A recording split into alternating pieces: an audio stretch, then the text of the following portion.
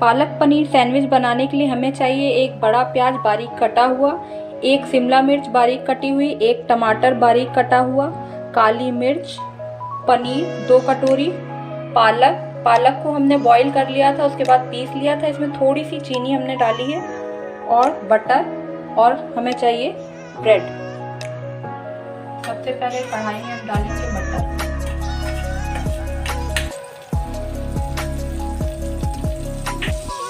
डालेंगे प्याज।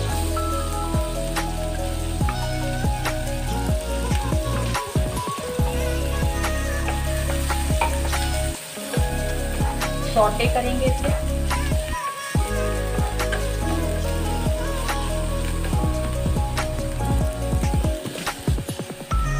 डालेंगे हम शिमला मिर्च।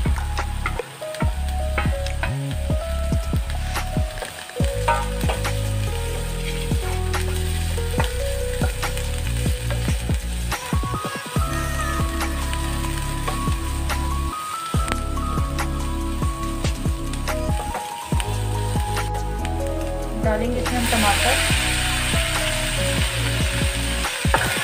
इसको भी हल्का सा सौटे करना है।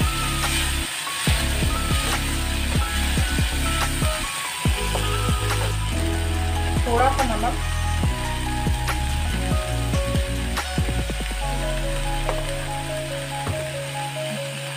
काली मिर्च।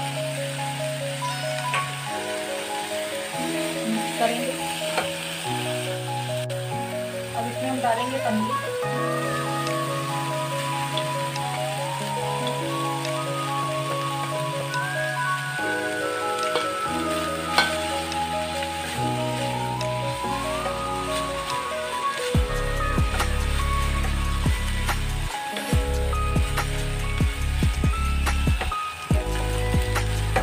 एक मिनट के लिए हमने इसे फ्राई किया है। अब ये तैयार हो गया इसको हम साइड में रख देंगे।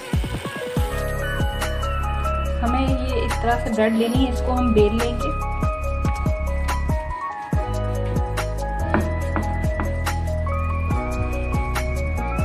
इस पे हमें लगाना है थोड़ा सा पालक का पेस्ट।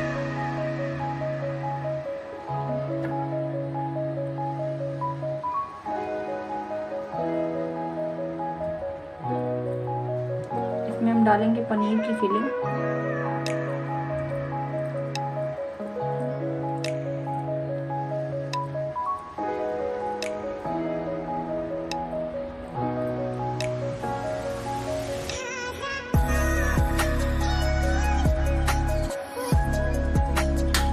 ऊपर रखेंगे हम अपना दूसरा पनीर।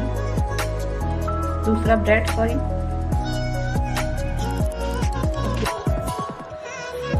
इसको हम अपने ब्रेड को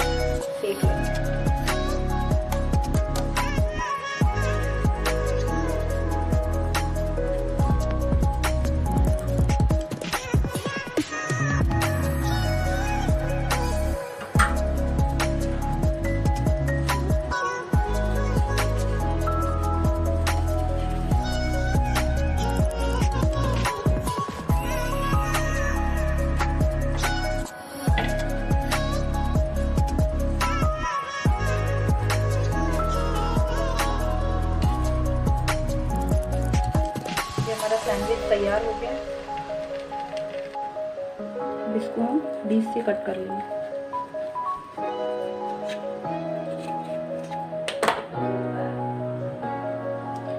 इस तरह से हमारा ये सैंडविच तैयार हो गया है।